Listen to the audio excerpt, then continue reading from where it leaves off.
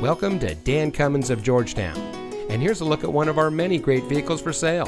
And comes equipped with Preferred Equipment Group 1LZ, roof rack, heated second row seats, perforated leather appointed seat trim, heavy duty trailering package, heated door mirrors, keyless entry, OnStar, parking sensors, ventilated front seats, and much more.